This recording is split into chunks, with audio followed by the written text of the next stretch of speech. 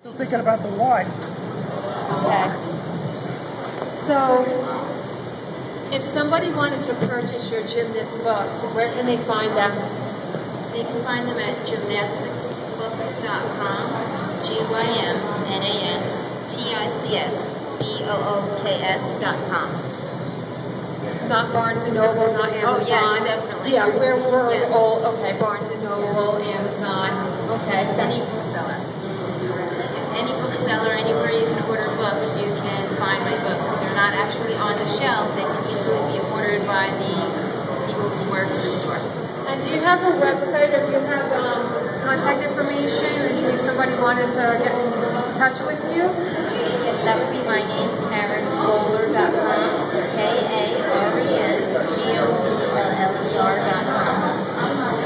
Thank you very much, Karen Goeller, it's a pleasure to have you on the set today. Thanks so much. You're welcome. Thank you very much, Karen.